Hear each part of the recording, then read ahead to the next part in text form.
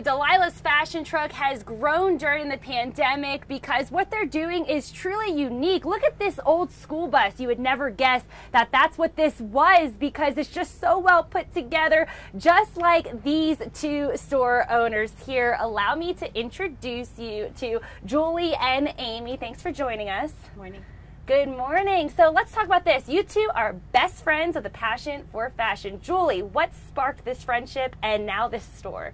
Our friendship started, our, our two boys were in preschool together. Um, and they are now freshmen in high school. So our friendship has, has been a long time. And we found out that we were both Texas girls, which created a huge bond. Um, and we just instantly fell in love with each other.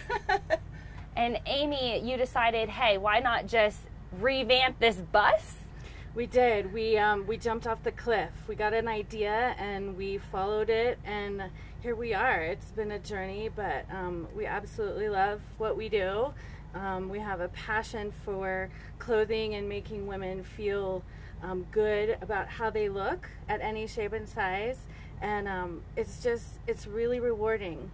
Let's talk about your community outreach. So you said Colorado Springs has been great with helping your business survive we um, we for community outreach we do a lot of giving back.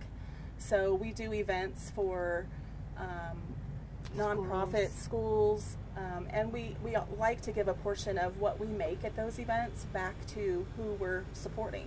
But I'm going to send it back to you in this studio in Old Colorado City. Caroline Peters, News 5.